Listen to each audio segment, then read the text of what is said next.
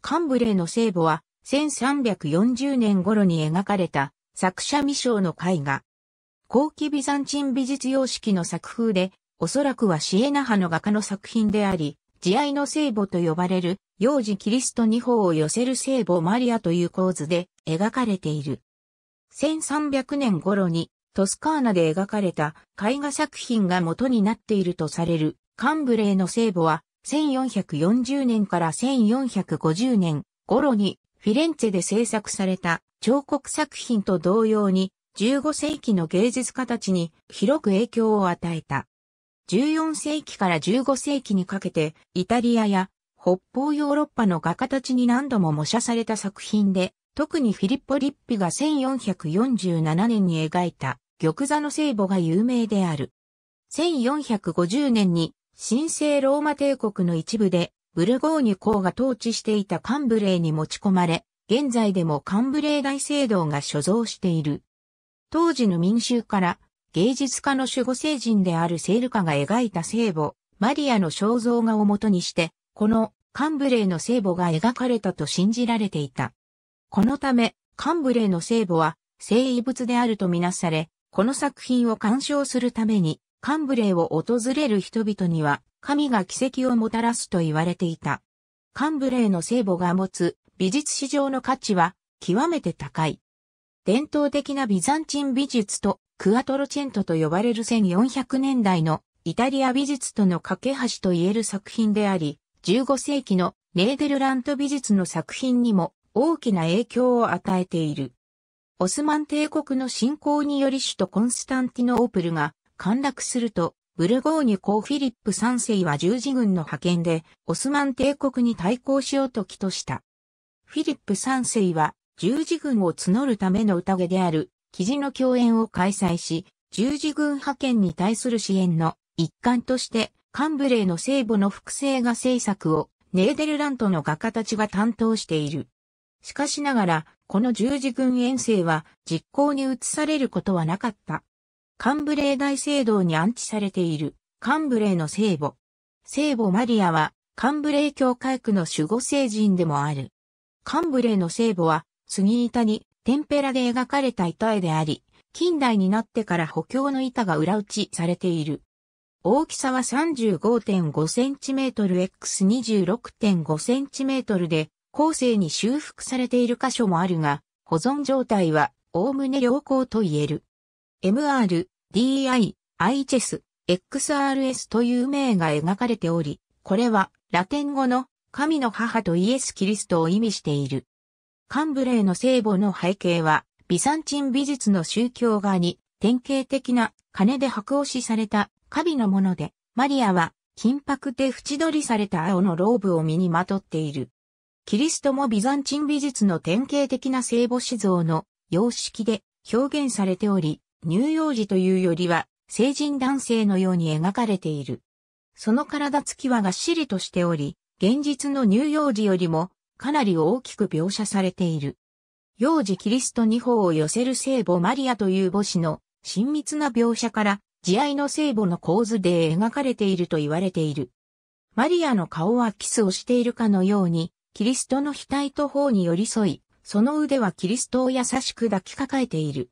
キリストの足は片方が曲げられ、もう片方はまっすぐに伸びている。マリアの下から掲げられた右手はマリアの顎をしっかりと握りしめている。カンブレーの聖母に見られるこのような親密な聖母指導は、伝統的なビサンチン絵画ではなく、後世のクアトロチェントに通じる様式となっている。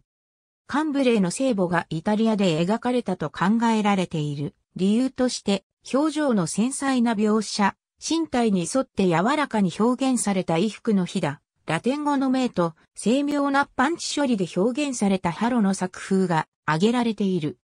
イタリアで描かれた様々に異なる多くのバージョンがあることから、一点の絵画作品をモデルにして、これらのバージョンが描かれたとされている。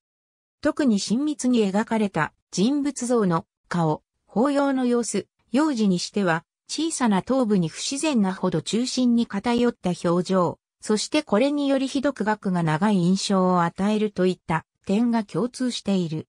14世紀半ばにベネツィアで描かれた慈愛の聖母。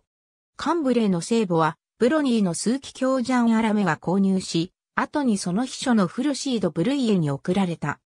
1440年に、ローマでカンブレー司教座聖堂参事会員に任命されたド、ブルユはカンブレーの聖母を赴任先のカンブレーへ持参し、当地でセールカが描いた絵画を直接模写した作品だと信じられた。その後、1450年に現在のカンブレー大聖堂の前身である旧カンブレー大聖堂に譲られ、翌年の8月13日に大聖堂付属の生産位一体礼拝堂で盛大に挙行された聖母飛翔天の前夜祭りで大聖堂に安置された。公開されたカンブレーの聖母は即座に熱烈な巡礼対象となり、当時の人々に新たなキリスト教的イメージとして受け入れられた。1453年にはカンブレーの聖母を聖遺物として管理、数形するための団体が創設され、1455年からは8月15日の聖母飛翔天の祝日を祝賀する行列とともに街中を巡回するようになっていった。いつしかカンブレーの聖母には初期キリスト教徒たちが迫害されていたエルサレムで密かに信仰を集めていたという伝説が生まれた。カンブレーの聖母は430年にビザンツ帝国皇帝アルカディウスの娘プルケリアに送られ、その後コンスタンティノープルで公開されて数世紀にわたって大きな賞賛を受けたとされた。当時、カンブレーの聖母を拝観するために、カンブレーには数千人以上の巡礼者が訪れており、これら巡礼者の中には、ブルゴーニュ公フィリップ3世、ブルゴーニュ公氏、シャルル、フランス王ルイ11世といった王侯貴族も含まれていた。特にフィリップ3世はカンブレーの聖母にまつわる熱狂的な信仰に大きな役割を果たした。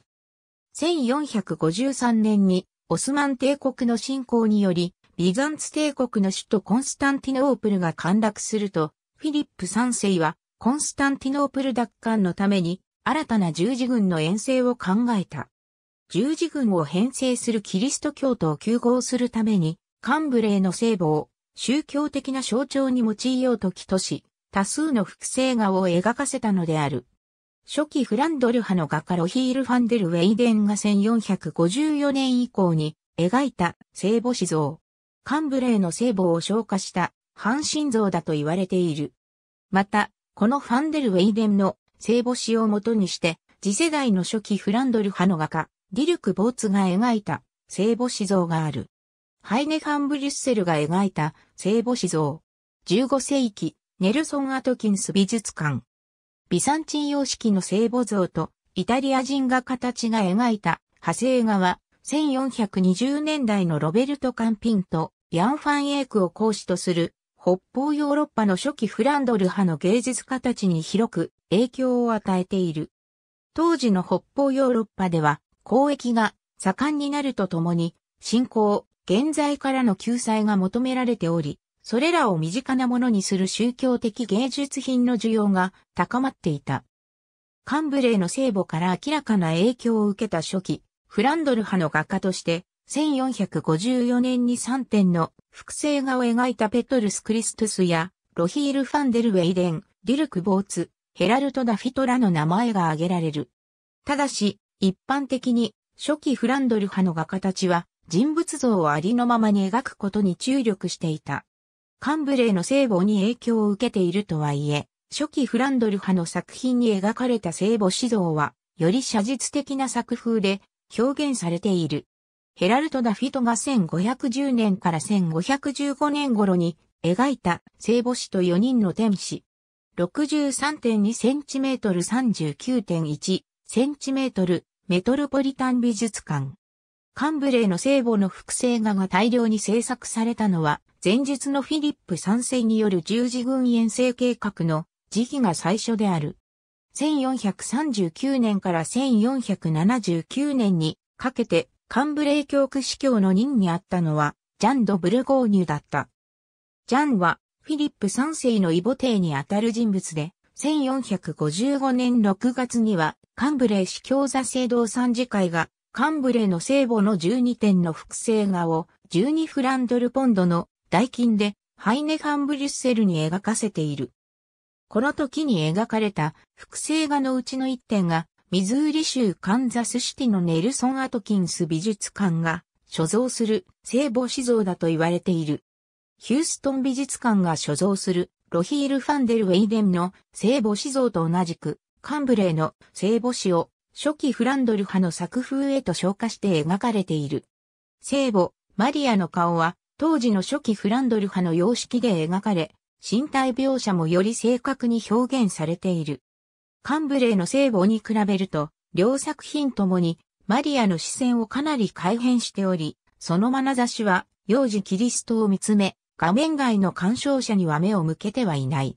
ペトルス・クリストスが描いた3点の複製画は、エタンプ・白ジャンの依頼で制作された。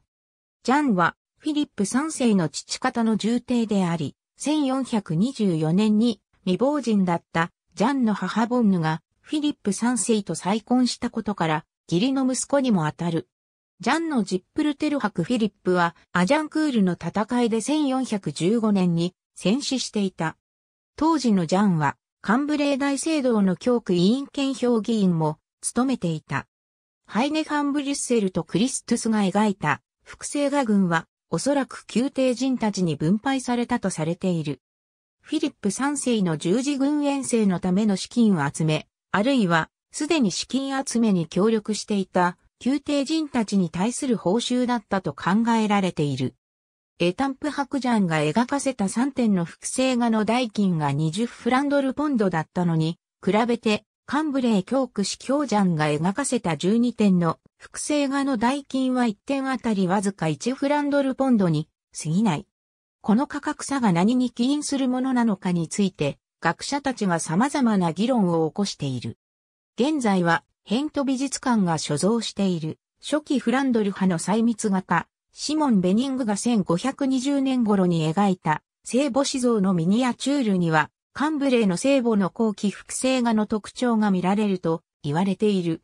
以降の時代に制作された複製画にもベニングの作品からの影響が見られ、オリジナルのカンブレーの聖母よりも写実的な作風になっていた。これらの複製画には描かれた時代に応じた特徴的な作風が見られる。クレタ派の画家たちが描いた聖母子像のイコンは安価であり、ギリシアあるいはラテン様式であることが明記されたこれらのイコンが大量にヨーロッパ中に流通していた。ありがとうございます。